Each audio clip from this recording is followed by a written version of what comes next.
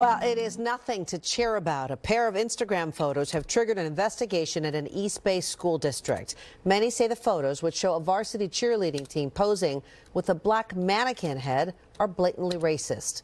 NBC Barry's Thom Jensen is in San Ramon, where the district students and parents are perturbed about the controversy. School district officials say they first found out about this on Saturday and they were on campus first thing today talking to students and also calling parents to find out exactly what happened. An Instagram account titled Black Bay Area reposted two troubling photos on their page this weekend, accusing the initial poster of racism. The pictures show what appear to be members of the California high school varsity cheer team posing with the black mannequin head they refer to as their mascot, which they named Kareem.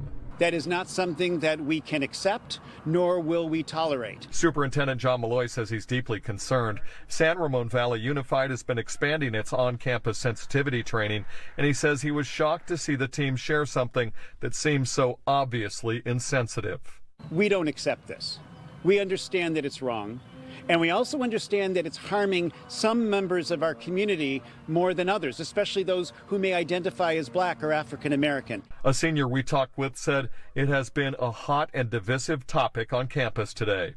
They think it's like a joke or it's funny or something like that and they don't realize that it actually has like implications a sentiment shared by a mom who lives in the neighborhood if they meant it as a statement then they should have clarified that if they meant it as a joke, it's not funny. Angelica Tucker has two young daughters who she believes might want to try out for the cheer team at California High someday, and she hopes this can be a teachable moment.